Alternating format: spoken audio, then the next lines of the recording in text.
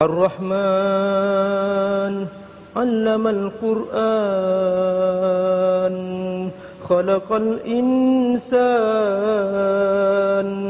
علمه البيان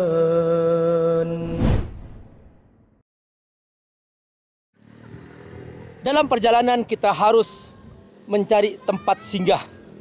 Dan ini salah satu tempat singgah yang kita dapati dan ini beberapa uh, musafir sedang singgah minum kelapa. Ini juga Masya Allah seorang bunda, ini ibu saya sendiri. Masya Allah luar biasa. Nah ini mak saya dan semua ini oh luar biasa. Begitulah kita dalam hidup memang kita harus ada persinggahan-persinggahan. Ini secara jasmani. Nah, secara rohani kita juga harus ada persinggahan-persinggahan. Karenanya Allah Subhanahu wa taala wajibkan kita untuk sholat pada waktunya. Maka sesibuk apa pun jangan sampai kita menjadi orang yang lalai.